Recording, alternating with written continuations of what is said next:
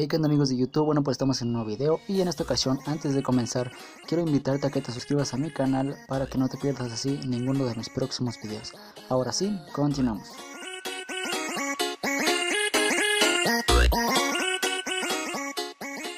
Este video lo que se va a tratar específicamente es cómo tener Android en una computadora, ya sea esta de escritorio o ya sea laptop, portátil, eh, vas a tener o poder tener Android con sus aplicaciones como las tiene un teléfono, ya sea la Play Store, juegos como Free Fire o Fortnite, dependiendo de, los componentes que tenga tu computadora, eh, será la movilidad de estos juegos. Ya no, bueno, no te voy a prometer que puedas jugar Fortnite con una computadora, bueno, de con Android en una computadora bastante antigua ya que no lo va a correr. Para correr Fortnite necesitas forzosamente en un celular creo que aproximadamente 5 o 3 GB de memoria RAM y si tu computadora no cuenta pues con esa memoria pues cómo la vas a correr si no la tienes. Bueno, y ahora sí comenzando, te voy a dejar abajo en la descripción un, un enlace para que te descargues ya sea este archivo que tengo yo aquí o el instalador, que prácticamente son los mismos.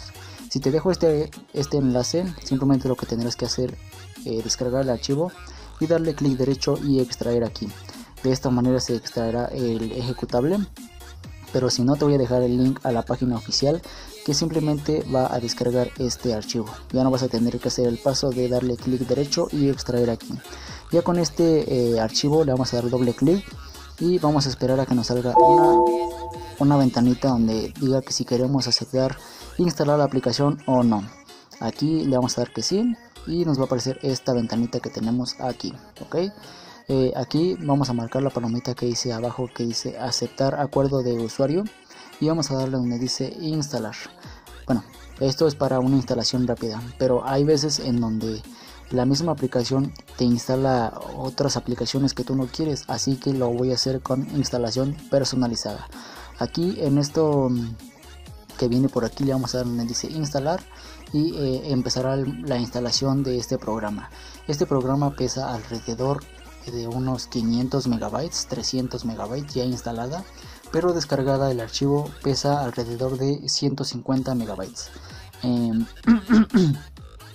La instalación es bastante rápida y sencilla, como ven nada más le di a instalar.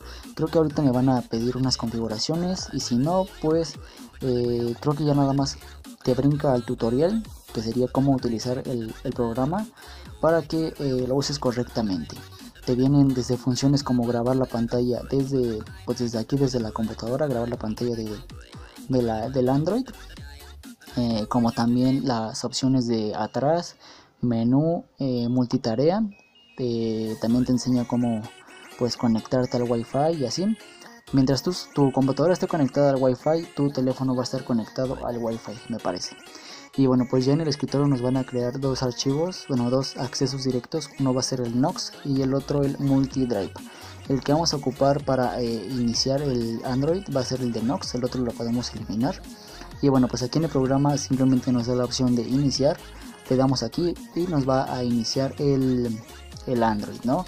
Aquí simplemente tendremos que esperar a que acabe el proceso de, inicialización. Como ven va bastante rápido, a 28, 29, 30, ya casi llegando al 50% de carga de este del Android, ¿no? Aquí simplemente como les digo esperamos. Esto llega a tardar un poquito la primera vez, ya después esto será bastante más fluido.